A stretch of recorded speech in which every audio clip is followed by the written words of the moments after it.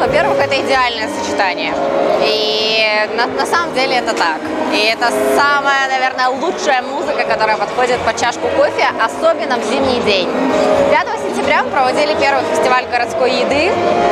И это второе мероприятие именно гастрономического направления. И в этот раз мы объединились с э, двумя крупными партнерами, с тремя.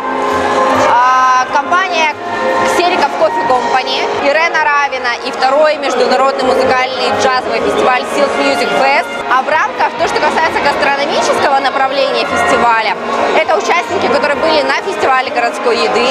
И мы завели еще новые проекты, которые даже еще не открылись. В среднем мы думаем, что придет около 3000 человек.